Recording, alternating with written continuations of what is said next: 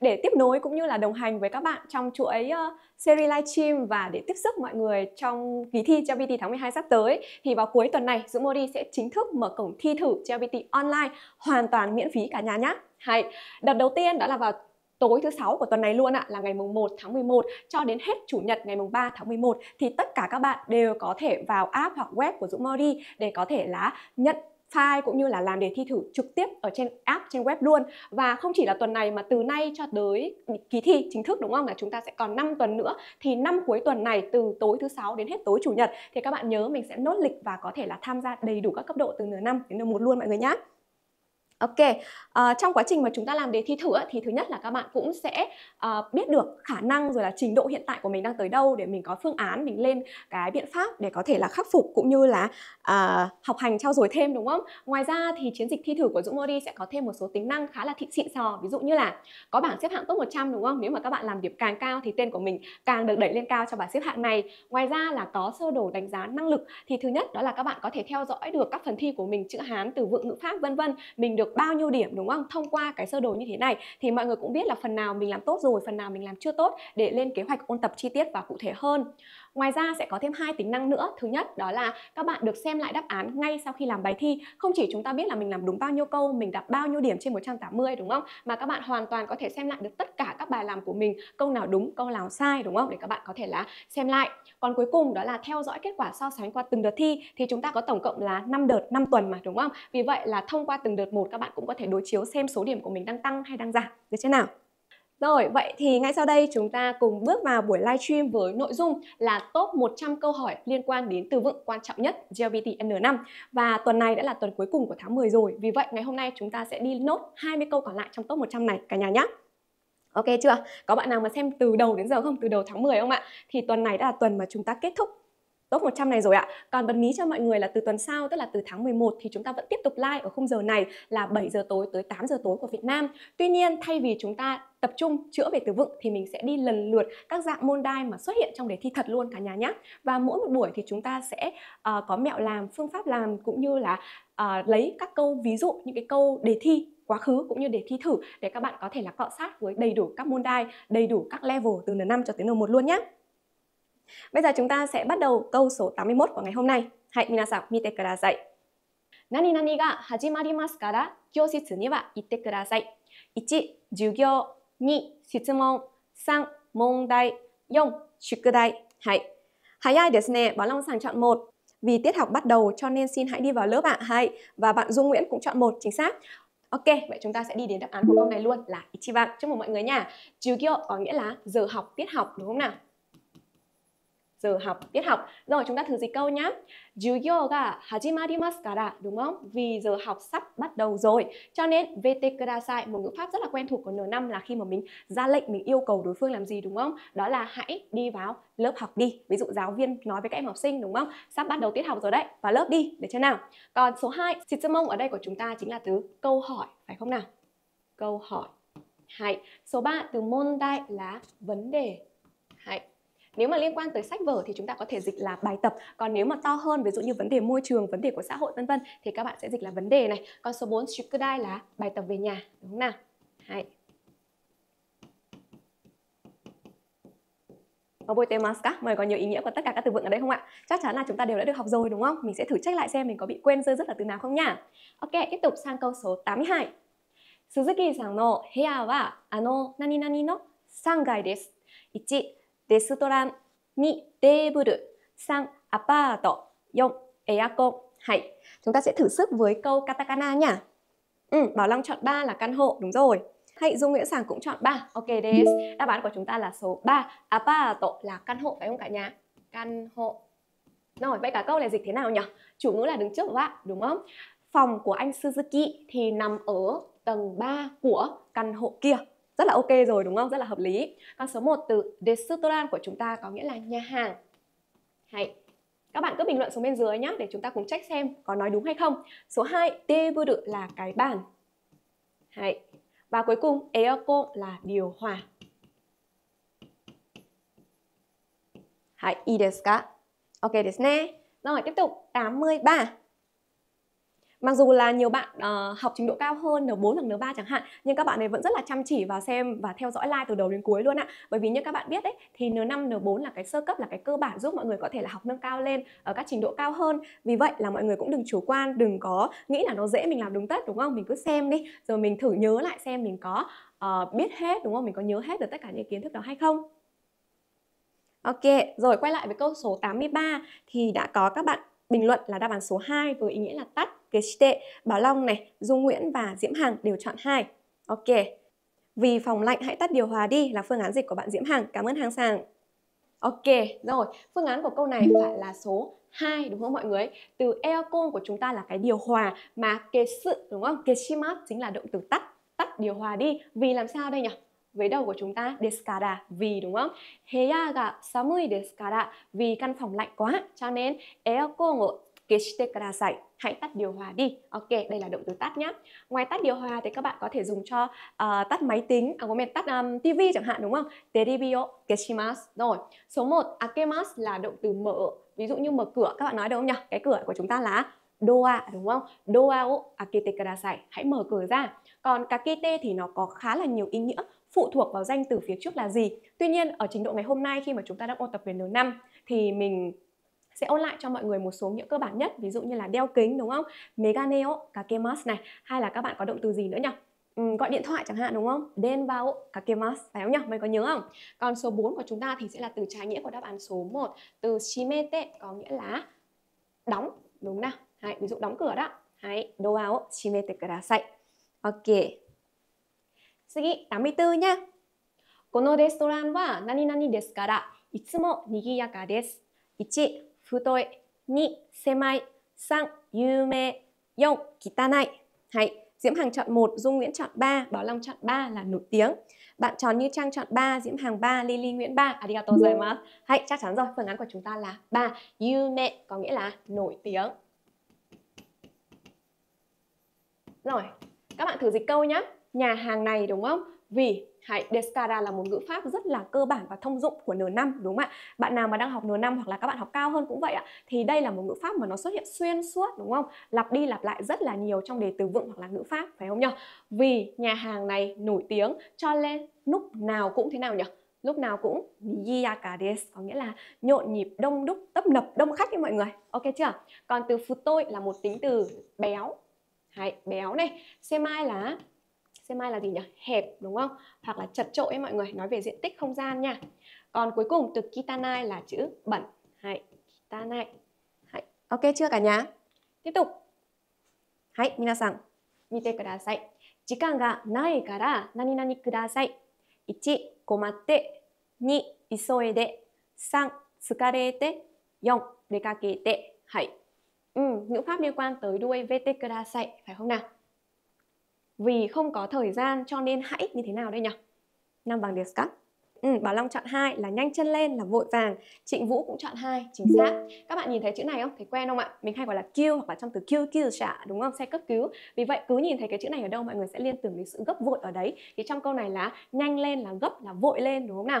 Vì không có thời gian cho nên hãy hãy nhanh lên, hãy khẩn trương lên đúng không ạ? Còn từ komatte ở đây có nghĩa là rắc rối này, khó khăn này, gay go đúng không? Trong N5 các bạn hay học là komatana đúng không? Thật là căng quá nhỉ khi mà mình gặp một cái chuyện gì đấy hoặc là một cái khó khăn trở ngại nào đấy, phải không nào? Còn số 3 từ tsukarete có nghĩa là là mệt đúng không? Còn cuối cùng từ dekakete là đi ra ngoài. Hãy mọi người có nhớ không ạ? Ừ, so desu ne, vì không có thời gian cho nên hãy nhanh lên, chính xác. Tiếp tục câu số 86.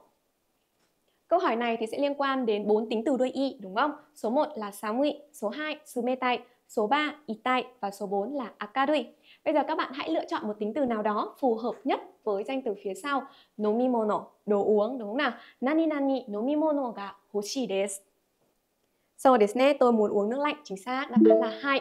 Sumetai là lạnh, tuy nhiên thì nó sẽ nghiêng về đồ ăn hoặc là đồ uống mọi người nhé. Đó, như các bạn đã dịch được rồi, danh từ gạo hoshi cũng là một ngữ pháp rất là điển hình của sơ cấp N5, mang ý nghĩa là mình muốn như thế nào đó. Thì đây là tôi muốn nước lạnh, tôi muốn đồ uống lạnh, được chưa nào?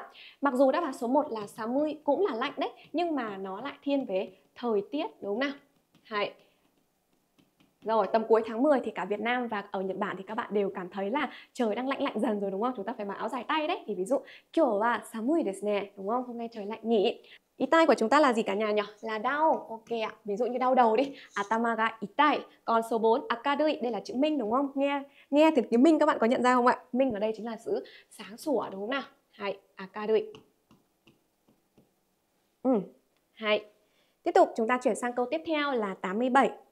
Ừ, 87 bạn Phan Huy Vũ chọn 1, Lưu Khang chọn 3, Văn Sang 3, Bảo Long 1, Hương Quế Trần 1, Diễm Hằng 1, Akete 1 và 3. Ừ, Hồng Hưng 3, Dung Nguyễn 3. Hãy, đáp án của câu này phải là ba cả nhà ạ, từ KT. Lúc nãy chúng ta có nhắc tới AKT rồi các bạn có nhớ không? Nó là hành động mở nhưng không phải là mở tivi mà là mở cửa. Ví dụ mở cửa là doao akete à, hay là mado akete à, đúng không? Hành động mà chúng ta dùng tay mình mở cửa ra vào rồi là mở cửa sổ thì mới dùng chữ Hán cũng như là cách đọc này. Còn skete thì nó sẽ mang nghĩa là bật. Hay, bật ở đây ví dụ như các bạn bật gì đây nhỉ? Terebi, bật tivi rồi news, mimas, xem thời sự, xem tin tức, phải không nào?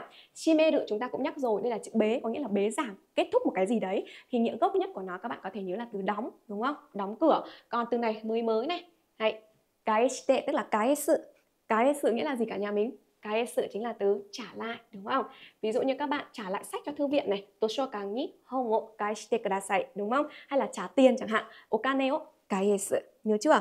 Đấy, với mỗi một từ vựng thì thay vì các bạn chỉ nhớ nghĩa của nó thôi thì mọi người cũng có thể cố gắng thành lập nên một câu ví dụ ngắn gọn thôi để mình có thể nhớ cách sử dụng của nó nữa. Hãy tsugi 88 nào. Fuku o nani nani o furo ni haite hairimasu ne hairimasu. 1. 脱いで2. 座って 3. 吸って 4. 消して Ok, bốn động từ đã được chia sẵn sang thể T rồi. Bây giờ các bạn dựa vào gợi ý là phức cự. Phức cự là gì mọi người nhỉ? quần áo đúng không? Thì đi với động từ gì được đây? Ừ, Bảo Long chọn một là cởi đồ, Văn Sang Nguyễn chọn một, Hồng Hưng một là cởi, ừ, nui đệ. Lưu Khang cũng chọn một, Diễm Hằng một, ok. Nguyễn My một chính xác rồi cả nhà. Hãy sekai desu. Nui de là được chia của động từ gốc là nugu, nugimas mang ý nghĩa là cởi đúng không? Hãy các bạn thử dịch lên câu trên nào. Đây. Tôi cởi quần áo ra đúng không? Và bước vào bồn tắm tức là mình sẽ ngâm bồn đấy mọi người là cởi. Còn suwatte là gì nhỉ? ngồi đúng không nào? Suwarimas. Số 3, sutte là hút, ví dụ trong từ hút thuốc lá đấy ạ. Tabako, suimas. Còn cuối cùng keshite chúng ta cũng có nhắc rồi đúng không? Chính là động từ tắt ví dụ tắt tivi tắt điều hòa đi đúng không? Eokon wo keshite kudasai. Hai. y desu ka? Ừ, cởi quần áo rồi vào tắm chính xác. Tiếp tục 89 nào. Hai. bốn danh từ liên quan tới kata nhá. Watashi no suki na nani nani wa sakka desu. 1 apato 2 subu 3ブール4スポーツはい何番ですか Bảo Long cũng chọn 4 là thể thao, sports. Hay, Trịnh Vũ chọn 4 thể thao, chính xác. Sports của chúng ta là từ sport. Đúng không? Viết thế này đúng không cả nhà? Thể thao đúng không nào? Mà đây có từ saka là bóng đá rồi, cho nên rất là dễ để chúng ta có thể gợi ý và lựa chọn phương án là 4 đúng không? Môn thể thao mà tôi yêu thích chính là bóng đá. Vậy môn thể thao mà người yêu thích là môn gì ạ? Có biết tên môn đấy trong tiếng Nhật không? Nhớ comment xuống bên dưới nhá. Còn số 1 của chúng ta nhắc khá là nhiều rồi và ngay cả câu đầu tiên của ngày hôm nay đúng không? Apato là căn hộ này. Căn hộ. Số 2 từ spoon có nghĩa là cái thìa. Hai, spoon ví dụ như là spoon để đúng không? Mình hay ăn cái gì bằng thìa nhỉ? ăn uh, cháo đi hãy spoon để okayu tabemas đúng không đấy trong lúc mọi người học thì cố gắng lấy thật nhiều ví dụ nhé để mình làm quen thứ nhất là phát âm thứ hai là phản xạ để kaiwa của mình sẽ được nhanh hơn còn số 3 từ puru thật ra mình thấy là tuần nào livestream buổi nào cũng gặp từ này luôn đấy đúng không các bạn xem đi xem lại là không thể nào mà quên được puru chính là từ bể bơi hay. Thật ra thì đây cũng là những chữ kata mà thông dụng nhất của trình độ sơ cấp rồi Thế cho nên là các bạn mà còn chưa biết từ nào thì nhớ là memo để học luôn từ đấy đó nhá Hay, ok rồi mình xin phép được uh, giới thiệu qua cho mọi người một chút xíu về hai đầu sách tổng ôn sơ cấp cụ thể là N5 và N4 của Dũng Modi. Như cái tên của nó đúng không? Chính là sách tổng ôn vì vậy là nó sẽ bao gồm đầy đủ ba kiến thức nền chính là chữ Hán, từ vựng, ngữ pháp thông qua việc chúng ta ôn tập lại kiến thức như vậy. Sau đó thì mọi người sẽ tiến hành đến làm bài test. Trong đó có đến 140, 160 bài test giúp mọi người vừa luyện tập cũng như là có thể đối chiếu check được đáp án và lời giải chi tiết. Trong giai đoạn một tháng cuối cùng này trước khi kỳ thi thật GLBT ngày 1 tháng 12 thì mình cũng rất là muốn sự sư mê cho mọi người có thể tham khảo hai đầu sách này và mình có thể là luyện tập thật là nhiều các dạng môn đai và cọ sát với các câu hỏi trong đề thi thử để mọi người uh, tổng hợp cũng như là mọi người có một cái tinh thần sẵn sàng nhất trước khi bước trước khi chinh chiến vào kỳ thi thật. Đúng nào, hãy các bạn mà có thắc mắc à, hoặc là muốn ờ, tham khảo kỹ hơn về đầu sách có thể là inbox trực tiếp trên fanpage của Dũng Ngôi đi để được hỗ trợ và tư vấn chi tiết nhé. Ok, tiếp theo chúng ta sẽ chuyển sang câu 90. Haru yasumi wa nani nani deshita ka? 1. Dare 2. Do 3. Dore 4. Doshite ừ. Bây giờ chuyển sang từ để hỏi đúng không nào? Hãy Lưu Khang chọn 4 Văn Sang chọn 2 có nghĩa là thế nào. Bảo Long chọn 2 cũng là thế nào này.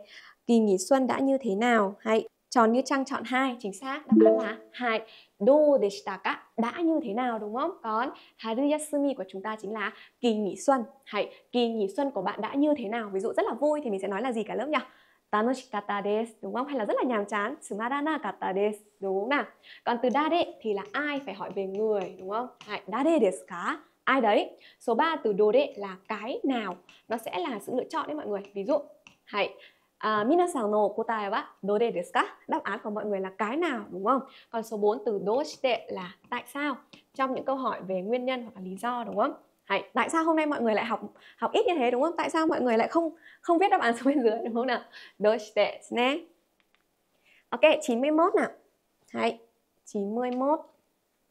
Diễm Hằng chọn 2, Lưu Khang chọn 2 là phu đự. Hồng Hưng chọn 2 là rơi. Ok. Trịnh Vũ chọn 2 đúng rồi. Câu này vừa là hỏi mọi người về từ vựng mà cũng như là ôn tập về ngữ pháp luôn đúng không? Thứ nhất các bạn nhìn thấy từ yuki có nghĩa là tuyết phải không nào?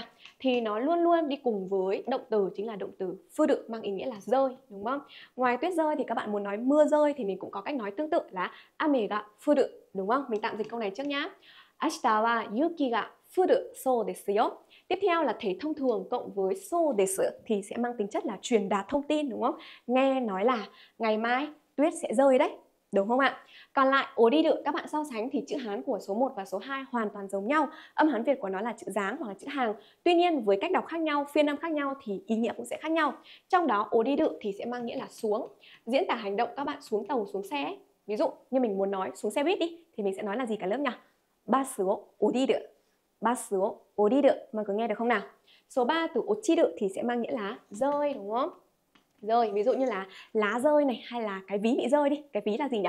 Saifu đúng không? Saifu ga uchimashita. Hoặc ngoài ra nó còn một cái nghĩa nữa đó là từ rơi rớt trong kỳ thi tức là mang nghĩa bóng ấy mọi người. Shike ni uchimashita. Tôi đã rớt kỳ thi rồi. Đó. Còn số 4 từ tomaru là từ dừng đỗ liên quan tới xe cộ đúng không? Đấy, dừng đỗ xe nhé mọi người nhé. Đấy, tomaru. Tomarimasu. いいですね Ok, tiếp theo câu 92 Ừ, 92 bạn Bảo Long chọn 3 là ấm, atatakai. Ừ, Hồng Hưng cũng chọn 3 này. Đặng Châu chọn 3. Hay, chính xác đáp án là 3, atatakai với ý nghĩa là ấm đúng không nào? Ấm. Ok, rồi chúng ta sẽ đọc lại và dịch cả câu nhé. Kono heya wa danbo ga haite ite atatakai desu. Căn phòng này đúng không? Vì làm sao mọi người? Danbo chính là cái máy sưởi ạ. Đấy, vì đang bật máy sưởi cho nên rất là ấm áp đúng không nào? Atatakai. Samui chúng ta nói rồi là lạnh liên quan tới thời tiết đúng không? Lạnh này. Số 2 Tsumetai cũng có nhắc rồi, lạnh này thì lại mang đến cái cảm giác về đồ ăn, đồ uống. Mọi người nhớ phân biệt nha. Còn cuối cùng từ Suzushi là mát mẻ. Ok. Ừ, rồi, tiếp tục câu số 93. ここから駅までどのぐらい 時間が何々か1かけます2かかります3あります 4 sugimasu. Liêu Khang chọn 2, Văn Sang chọn 2, hay. Trịnh Vũ chọn 2, ok đấy, chính xác rồi. Kakarimasu, ở đây chúng ta có thể dựa vào gợi ý là từ jikan đúng không? Liên quan tới thời gian hoặc là tiền bạc thì các bạn có thể chọn là kakarimasu. Ngoài ra có thêm trợ từ ga nữa thì chúng ta cần phải chọn tự động từ hay các bạn có biết phân biệt giữa tự động từ và tha động từ không nhỉ? Thứ nhất là mình có thể dựa vào trợ từ nhá. Đó. Thì nếu mà là ga mình sẽ chọn là kakadimas. Còn tương tự nếu trong vị trí này là u thì các bạn có thể chọn phương án số 1 là kakemas. Đều mang nghĩa là mình mất hoặc là tốn bao nhiêu thời gian hoặc tiền bạc để làm gì. Thì trong câu này, đây là một câu hỏi. Từ đây đúng không? Đến nhà ga thì mất bao nhiêu thời gian? Hay. Nan dono gurai jikan ga kakarimasu Còn số 3 từ arimas là có thôi, đúng không? Thể hiện sự tồn tại hoặc là sở hữu. Ví dụ tôi có xe hơi, kuruma ga arimas, đúng nào? Còn số 4 từ sugimas của chúng ta là quá. Ừ, quá. So desu ne. Hai. 94. Nani nani ga nai kara araenai yo. 1. 洗剤 2. 洗濯 3. クリーニング 4. 掃除 Hay, bạn Trịnh Vũ chọn 1. Bạn Luyến Lùn chọn 1. Ok ạ. Dung Nguyễn cũng chọn một. Bảo Long có phương án dịch như sau, vì không có bột giặt nên không thể giặt được. Hãy Bảo Ngọc chọn một. Ok, hãy. Đáp án trong câu này chính là một sen dại đúng không? Sen dai là một chất tẩy rửa nói chung, trong đó thì có thể là à, nước rửa chén, rửa bát này hay là bột giặt xà phòng vân vân. Trong câu này thì chúng ta cứ tạm dịch là bột giặt cho các bạn dễ hiểu nhá. Vì không có bột giặt cho nên adaenai ở đây là thể khả năng đúng không? Không thể giặt được đúng không ạ? Adaenai. Còn từ sen ta cự của chúng ta là giặt rũ Đấy, giặt rũ thì mình không thể nào nói là vì không có giặt rũ được đúng không? Sen ta cứ gan này không hợp lý vì vậy không chọn số 2 nhá. Còn số 3 từ cleaning là từ cleaning trong tiếng Anh nó sẽ mang nghĩa là làm sạch này hoặc là để gọi tên các cửa hàng giặt là giặt đồ ngoài tiệm ấy mọi người. Có bạn nào ở bên Nhật đã thử đi giặt đồ ở bên ngoài chưa? Các cửa tiệm đúng không? Mọi người có nhìn thấy chữ này không ạ? Cleaning. Còn số 4 từ soji là dọn dẹp. Hai, wakarimashita ka? Ừ, ok ですね。tiếp tục Câu 95 cả nhà nhé. À, この車、ガソリンがほとんど何々いないよ。1、買って、2、履いて、3、入れて、4、なくなって。Hay. Chia sang thể T nào mọi người. Ok, Văn Phong chọn 4 rồi. Ok, Hồng Hưng chọn 4, Bảo Long chọn 4 là hết xăng. Câu này thật ra bảo khó không khó nhưng mà lại dễ lừa ấy mọi người. Bởi vì nhiều bạn sẽ rất hiểu lầm trong câu này. Ừ, mọi người thử suy nghĩ xem có bạn nào muốn quay xe không ạ? Vũ Hải cũng chọn 4. Hãy見せてください。2bằng desu ne, haite mọi người nhá. Tại sao lại là số 2 này? Bình thường từ hay đự của chúng ta mang ý nghĩa là vào, ví dụ như lúc đấy mình có từ là uh, ufuro ni hay đự đúng không? Hay là các bạn vào căn phòng thôi, heya ni hay đự. Tuy nhiên thì hay đự nó còn mang một nghĩa nữa, đó là trong một cái gì đấy, cụ thể ở đây là trong cái bình xăng của mình đúng không? Hoặc là trong cái ngăn kéo, trong cái tủ mình đang chứa cái đồ gì đấy thì các bạn cũng sử dụng động từ này là hay đự. Vì vậy câu này sẽ được dịch là à cái xe hơi này, đúng không hầu như là không còn xăng đâu thì mọi người sẽ hiểu cái ngữ cảnh, cái bối cảnh ở đây là trong cái bình xăng của cái xe hơi này này thì nó hầu như là không còn xăng nữa đúng không ạ? Mọi người hiểu chưa? Wakadimashita ka? Vì vậy, chúng ta sẽ chọn phương án số 2 là haite. Còn nakunate là cái từ mất hoặc là hết thì mang ý nghĩa là hết sạch luôn đấy mọi người. Được chưa? Là mình sẽ dùng hết rồi hoặc cái gì bị mất đúng không? Số 1 và số 3 không ai chọn đúng rồi bởi vì tê thì nó sẽ mang nghĩa là mua không được này, còn IDT là hành động mình cho vào, bỏ vào cũng không ok đúng không? Đó mọi người nhớ nhá. Câu này là rất là nhiều bạn chọn nhầm sang phương án số 4 đấy. Hãy chú ý shite kudasai có một bạn đang nhận ra đó là cái đuôi này là từ inai đúng không? Nếu mà các bạn bảo hết xăng thì nó sẽ không thể đi với số 4 là nakunatte inai được là không hết mất rồi đúng không? Nên cái từ nai ở đây cũng là một cái chi tiết giúp các bạn có thể quay xe không chọn 4 nữa mà mình chọn hai được chưa cả nhà? Đấy, các bạn để ý nha. Rồi, tiếp tục sang câu 46 của chúng ta. Ừ, bạn Hồng Hưng rất nhanh, bạn chọn một được rồi này. Oboemasu. Mainichi kanji o itsutsu nani nani. Ichi oboemasu, ni kikoemasu, san wakarimasu, yon tsutomemasu. Hay. Bảo Long là một nhớ. Ok. Luyến Lùn chọn một. Ừ. Lưu Khang chọn một. Rồi. Vũ Hải cũng chọn một này, ok. Dung Nguyễn chọn một và chắc chắn thì không thể sai được rồi. Đáp án của chúng ta là một. Oboemas là nhớ đúng không nào? Vậy câu này mình sẽ hiểu là mỗi ngày đúng không ạ? Tôi sẽ nhớ 5 chữ Hán. Mọi người mỗi ngày đặt ra mục tiêu là nhớ bao nhiêu chữ Hán ạ? Hoặc là ôn tập bao nhiêu đề đúng không? Hai, oboemas. Số 2 từ kikoemas là nghe thấy. Nghe thấy. Số 3 là gì đây nhỉ? Wakarimas là hiểu. Và cuối cùng số 4, stomemas là gì ạ? Là làm việc, đúng không? Đấy. Ideska. Ok, rồi mọi người đều làm đúng rồi đúng không nào? Vậy chúng ta chuyển sang câu tiếp, câu 97. 97 bạn Luyến chọn 4 là yukuri. Hãy. Câu này là một câu rất dễ và chắc chắn là nhiều bạn cũng sử dụng câu này trong hội thoại giao tiếp hàng ngày của mình rồi đúng không? Bạn Văn Phong cũng chọn 4 này. Vũ Hải 4, Dung Lê 2, Sukoshi. Uhm, bốn đúng không? Lưu Khang cũng chọn bốn, chính xác. Yukuri là thông thả, từ từ, chậm rãi đấy mọi người. Thông thả, từ từ, chậm rãi, đúng không nào? Rồi, câu này Nihongo ga amari wakarimasen kara vì tôi không hiểu tiếng Nhật lắm, đúng không? Tôi không biết nhiều tiếng Nhật lắm. Cho nên yukuri hanashite kudasai. Hãy nói chậm giúp tôi có được không? Đúng không ạ? Nói chậm thôi, yukuri hanasu. Còn có một số bạn đang nhầm sang phương án số 2, sukoshi là một chút, một ít. Đó. Các bạn sẽ không thể là nói một chút, nói một ít trong trường hợp này đúng không nào? Itsumo là luôn luôn, lúc nào cũng. Hay. Còn số 3 từ tokidoki là thỉnh thoảng.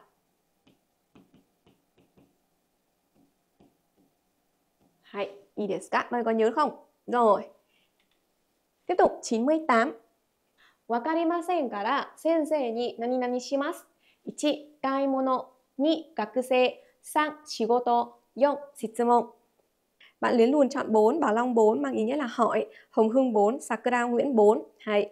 Hay, Thúy Hoàng cũng chọn 4, so desu Đáp án là 4, Jitsumon. Lúc nãy với chức năng là danh từ thì mình đã dịch là câu hỏi rồi. Còn trong trường hợp này nó đi kèm với đuôi là shimas, vì vậy đây là một động từ thì các bạn sẽ dịch là hỏi thôi, đúng không nào? Động từ hỏi. Hỏi ai thì sẽ đi với trợ từ là nhị mọi người nhá Vì tôi không hiểu hoặc tôi không biết cho nên tôi sẽ hỏi giáo viên, được chưa? Sensei ni shitsumon shimasu. Đáp án 1 từ kaimono chính là từ mua sắm. Mua sắm. Hai. Số 2 nào, gakuse là học sinh. Rồi, còn số 3 từ shigoto là công việc. Hay. Rồi, chính xác. Mua hàng này, học sinh và công việc nghề nghiệp. Hay. Ok. 99 nào. Rồi.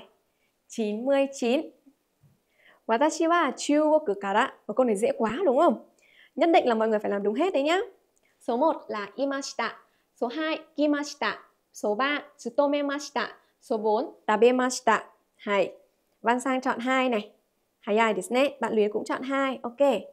Jenny Thạch 2, Vũ Hải 2, so Disney. ne. Đấy, mọi người thường nói câu này trong bài um, giới thiệu bản thân của mình đúng không? Tôi đến từ Trung Quốc thì mình sẽ nói là Chugoku kara kimashita thì sao? Chugoku kara kimashita. Còn số 1 imashita là động từ ở đúng không? Hoặc là có thể hiện sự um, um, sinh sống ở đâu đấy hoặc là mọi người muốn nhấn mạnh về cái sự tồn tại đúng không nào từ số 3 tomemashita chúng ta có nhắc đến câu trước rồi nó sẽ mang nghĩa là làm việc này còn số 4 tabemashita là ăn đúng không không phù hợp trong câu này ừ, so desne tôi đến từ Trung Quốc là phương án dịch của câu này ok câu cuối cùng mọi người nhé chúng ta đã về đích rồi câu 100 hai 日本語は何々わかります。1、あまり。2、少し。3、ゆっくり。4、とっても。はい。Đấy, sai của Disney. Câu này là câu cuối cùng rồi. Có bạn nào có thắc mắc có câu hỏi gì liên quan đến um, N5 này hoặc là các trình độ khác thì các bạn có thể là memo xuống à, comment đúng không? Các bạn nhớ bình luận xuống bên dưới nhé. Ừ, anh Nam Nguyễn chọn 2, bạn Luyến chọn 2, Bảo Long 2 là một chút. Tôi hiểu một chút tiếng Nhật, Sukoshi. À, ờ, bạn Hàng Nguyễn cũng chọn hai chính xác ạ. Sukoshi như chúng ta có chữ ở câu trước rồi thì nó sẽ mang nghĩa là một chút một ít đúng không? Vậy dịch cả câu này là gì nhỉ? Tôi hiểu một chút tiếng Nhật thôi đúng không? Sukoshi wakarimasu. Còn lại amari thì nó hay đi với thể phủ định nhiều hơn đúng không? Amari nai không lắm, ví dụ không ngon lắm thì mình sẽ nói là gì? Hãy amari oishikunai. Đúng không nào? Số 3 yukuri cũng có nhắc tới rồi, chính là từ thong thả, từ từ chậm rãi, ví dụ như là yukuri yasunde kudasai. Đúng không? Bạn hãy nghỉ ngơi từ từ nhé. Hoặc là trong câu vừa rồi mình có nói là yukuri hanashite kudasai. Đúng không? mình muốn nhờ mình muốn truyền đạt với người khác là hãy nói chậm một chút giúp tôi có được không? Rồi còn cuối cùng từ totemo thì là từ dễ nhất luôn đấy. Đúng không? Chính là từ từ rất đúng không? Ví dụ rất là đẹp totemo kire de rất là giỏi đúng không? Totemo jozu desu. Đúng không nào? Hãy rồi, vậy là chúng ta đã đi hết 100 câu trong tháng 10 này như mục tiêu mình đã đề ra đúng không? Các bạn thấy trình độ N5 có có dễ không nào? Và ngày hôm nay 20 câu thì mọi người làm đúng được bao nhiêu câu ạ? Có bạn nào được mang tiền không? Hãy chào kiyo wa korede owarimasu. Minasan, otsukare sama deshita. Bye bye.